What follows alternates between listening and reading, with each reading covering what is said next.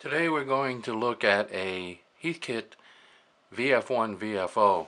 It really looks in really good condition if you look at the top and it's powered independently by a power supply which is uh, very unique. Uh, let me turn it on. It's very unique in that uh, you could use this VFO to power any vintage transmitter. Uh, normally with a Heathkit VF1 VFO you can only use it with a Heathkit AT1, I believe it works, and a Heathkit uh, DX40 and a Heathkit DX60. And I believe those are the rigs that uh, it normally works with. But you have an independent uh, power supply. It does have a tube, uh, which is nice. And uh, so you have a little bit of vacuum tube uh, technology to go along with it. So I'm going to uh, put it in the on position.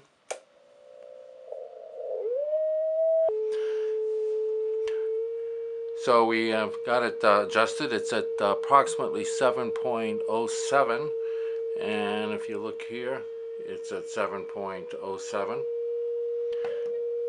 and I will try it up uh, I'll try it up on down on 80 meters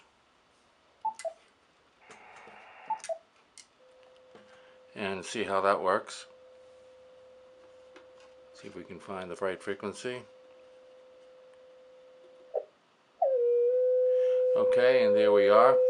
Uh, that's it's reading about 3750 there, maybe about 3740, and here it's uh, not too far off. It's about 3740. Now we'll go up on uh, 20 meters. Uh, let's put this in that position. We'll go try. Let's find 20 meters.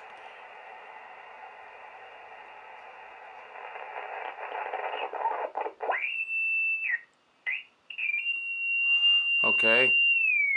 I'm just adjusting the uh, receiver. Uh, there we are on 20 meters, reading about 14.2 or a little lower than that.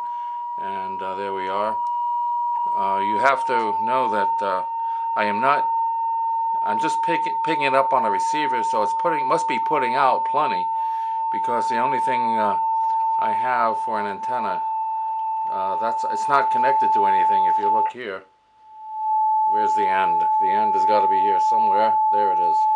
So it's not connected to anything. So it's just picking up uh, out of the air. And we'll go up on uh, uh, 15 meters.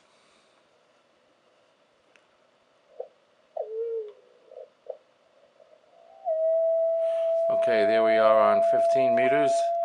That's around a little over 21, right near the bottom of the band. And uh, there that is.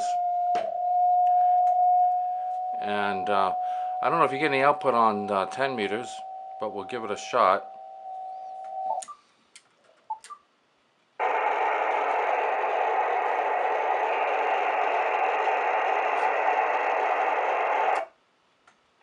Okay, we'll try 28.4.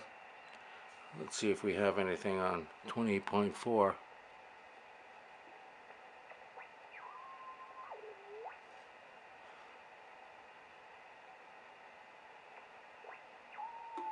Yeah, and there it is. 28 point, there's 28.4.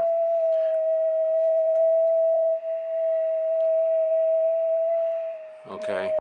Okay, I have uh, programmed my KX3 for 27 megacycles. And it even puts out on 11 meters.